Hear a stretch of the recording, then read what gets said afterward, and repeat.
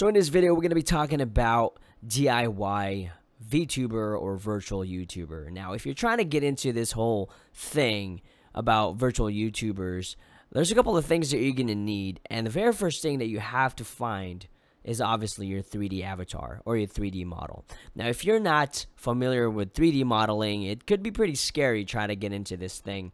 So, a couple of weeks ago, I think actually it was just last week, I made a video about this character, the Epic Marketplace, where you can purchase models for Unreal Engine 4. And I talked about the Archer Girl. When we talked about it last week, I told you that the Archer Girl actually has blend shapes. Pretty much, she has bones for facial expressions, but she didn't have a lot. She maybe had like 18 to 21. And for AR, Apple AR kit, you're going to need 51 or so to get pretty much the best quality, pretty much all of the blend shapes as much as you can. So I talked to this modeler, Ida Faber, Ida Faber, I probably butchered that name, and I told her like, hey, Archer Girl was great, and I showed her the video, and I said, but people are going to be more interested about your models if you have, you know, more than just 21 um, bones or blend shape. When people buy your product, it's literally just plug and play, and that's really what we're going to be talking about right now. Is now she updated her bunny girl to have the blend shapes I was talking about. So if I click here, you're going to see that update up Apple blend shapes for live link face. So that's good. And I'm going to go back here. And she's smart enough to actually put the logo of the live link face app on her models. So she also came out with this character, Kitsune, today, which also has all the blend shapes. So I think for less than $50, I'm pretty sure she's the first person to do this in uh, in the marketplace, which is amazing because now you can use a body mocap for your VTuber and you can use your iPhone as a facial motion capture all in Unreal Engine 4. So you don't have to know how to 3D model now. You don't have to get a 3D model and convert and create blend shapes. So what I'm going to show you is just get a little preview on what's about to come, I'm going to show you how easy it is to plug this in to my motion capture data and live link face using my iPhone. And then obviously in the future tutorials, I know a lot of people have been wondering about this VTuber thing because it's getting popular in the United States. Even though it came out in Japan like 2018, it's starting to make it here in the United States. First off, like I said, we're going to talk about the 3D model because it's probably the most important part. You're going to need your 3D avatar before you even worry about motion capture or facial motion capture and the software. So here we are. I got it. I already created a project with it. So let's open it up right here. You can see it's Kitsune. Now she has a couple of mesh that's available here. I mean, we can just start dragging and dropping it here. So she has all these ones. But what we're going to do is just focus on this main one right here. So I'll just delete these. Additionally, if you want to get around, you know, making video games and so on and so forth, if you're advanced like that, she also has the mesh separated on all different pieces. So you can create this in a blueprint or whatever you want to do with it. Okay, to do this, let's go back to the mesh. We're going to click this mesh, which is this one right here. I'm going to right click to that and then just go create, add in blueprint, and we're going to name this kit, kits, kits. I don't know what to call it. So I'm going to double click this and it's going to open up the details panel. I'm going to go to my plugins, make sure that Live Link is actually turned on. So I'm going to have Live Link turned on. I'm going to have the Apple AR kit turned on for face support. So it's going to support our iPhone 12 mini that I have. And then I'm also going to turn on Neuron Live Link, which is my motion capture suit plugin for Unreal Engine 4. And like I said, I am going to talk about motion capture stuff and facial capture stuff later on. I'm just trying to get you started with this 3D avatar right here so you can kind of see it, all right?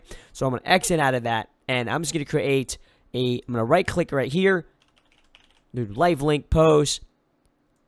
Okay, I'm going to make this bigger right here. And I'm going to create another one for live link pose. Okay, I'm going to compile and save it. I'm going to leave that for now. I'm going to go to the skeleton. And what I'm going to do is actually, and if you get this funny thing here, if you go to preview mesh up here, if you go to this one, no, that's the hair. So you got a couple of meshes here. That's the animation. I think it is hair buns. Okay, I think that's the one we have. So you want to learn Unreal Engine 4, but majority of the videos out there are for video game creations. Maybe I can help with that. I just created a beginner's course on how to make a movie inside Unreal Engine 4. In an hour and 40 minutes, I'm to teach you how to install Unreal Engine 4 to create your very first CG animation. Unreal Engine is the future, and this video is the perfect introduction to it.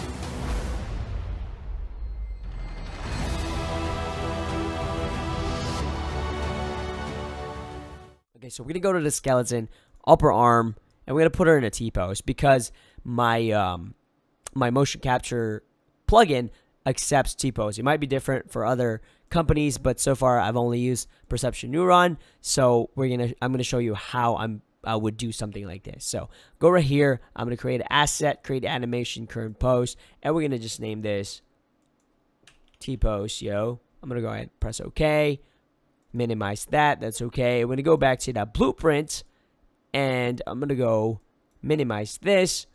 T-Posio, I'm going to drag and drop it there. Connect this to the live link post. Connect the live link post to the live link post and this to the output post. All right, so I'm going to compile and then save. Now you're going to see there's kind of flow of things and now she's in a T-post. Okay, I'm going to go to my Axis Neuron, which is the software that I use for my motion capture stuff.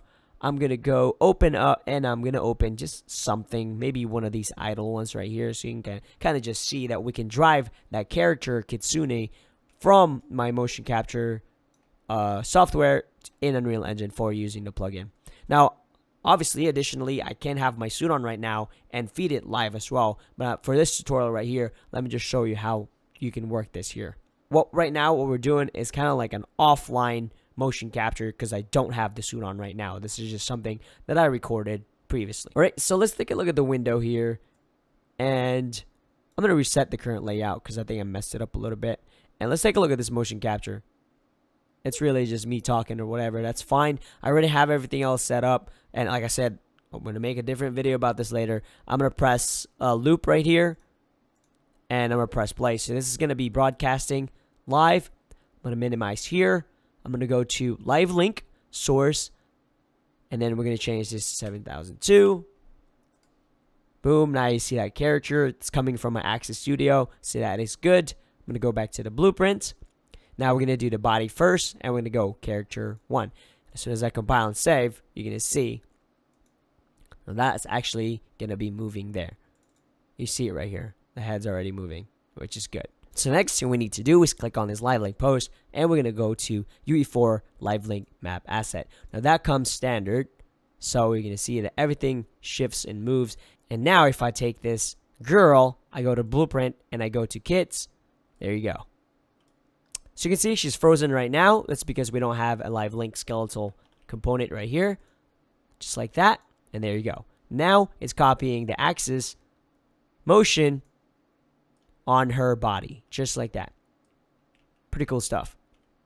Okay, so now what do we do with the Live Link Face app? Again, super easy. I'm going to turn on the app.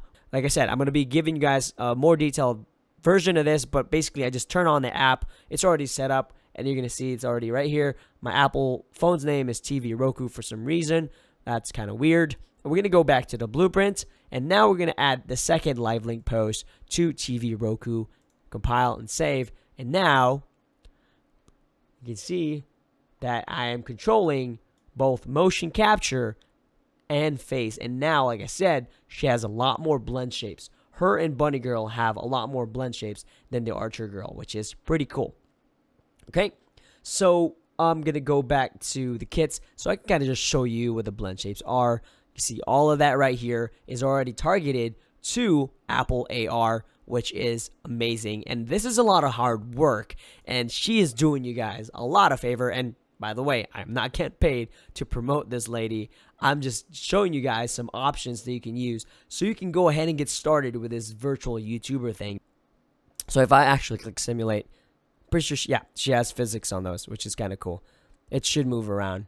I mean, obviously, right now it looks messed up because my motion capture, I didn't account for those things. So it's going to look a little bit messy, but in your motion capture, whenever you're moving it, you just gotta make sure your arm's a little bit wider because obviously with mine was a lot tighter because I was not thinking about wearing this exact dress when I was mocapping it. That's pretty much it guys for this video. I'm just giving you an introduction on DIY uh, VTuber so you don't have to model your own in DAZ, in Reallusion, or Marmoset, whatever, Maya, whatever toolkit you use. You can just purchase something from the Epic Marketplace and just plug everything in. We could have legit set this up in probably two minutes, and that would have been it.